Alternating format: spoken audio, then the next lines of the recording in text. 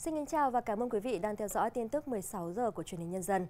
Trong dịp Tết Nguyên đán Giáp Thìn 2024, các hoạt động biểu diễn nghệ thuật, thể dục thể thao phục vụ nhân dân sẽ diễn ra sôi nổi trong toàn thành phố Hải Phòng. Các hoạt động nhằm tạo không khí vui tươi, phấn khởi, đáp ứng nhu cầu vui chơi giải trí, hưởng thụ văn hóa tinh thần của nhân dân trong dịp Tết.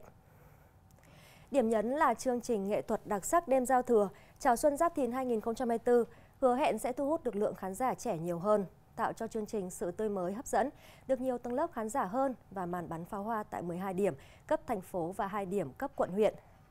Người dân du khách có thể đến đền nghè, đình kênh để dâng hương, tới Trung tâm Thông tin Triển lãm và Điện ảnh Hải Phòng, Bảo tàng Hải Phòng để xem các hoạt động triển lãm mỹ thuật, tạo không khí vui tươi phấn khởi để nhân dân đón Tết, đồng thời là hoạt động kỷ niệm 94 năm ngày thành lập Đảng Cộng sản Việt Nam.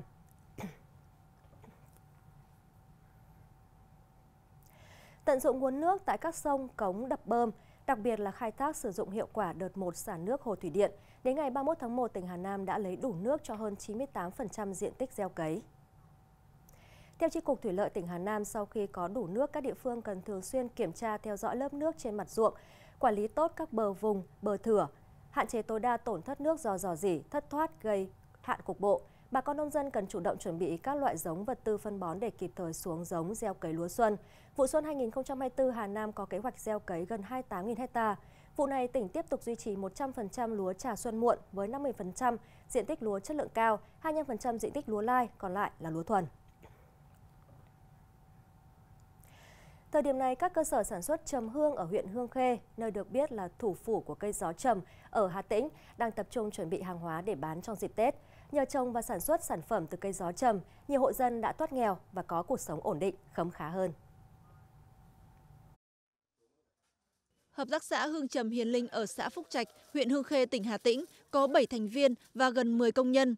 Các sản phẩm chính hiện có của cơ sở như đồ thủ công mỹ nghệ, hương trầm và nụ trầm hương.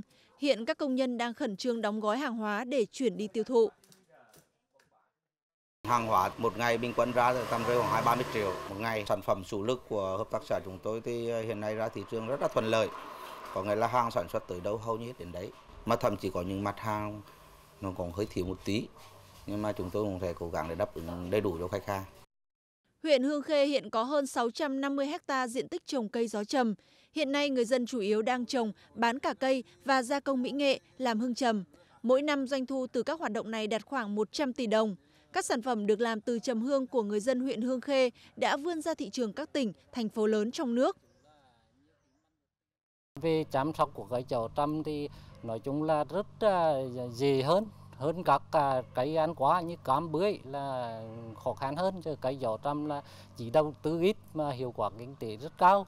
Xây dựng đề án bảo tồn và phát triển làng nghề trồng hương tại thôn tạm xã Phúc Trạch này thì sau khi sẽ được sở nông nghiệp các sở ngành ờ, kiểm tra thẩm định thì huyện sẽ phê duyệt và chỉ đạo xã Phúc Trạch để triển khai thực hiện ờ, trong cái thời gian tới để đảm bảo đạt ờ, hiệu quả nó cao hơn. Với sự bảo đảm về chất lượng và đa dạng về mẫu mã, các sản phẩm từ cây gió trầm đã từng bước có chỗ đứng trên thị trường, qua đó tạo ra nguồn thu nhập ổn định cho người dân ở thủ phủ gió trầm Hương Khê, tỉnh Hà Tĩnh.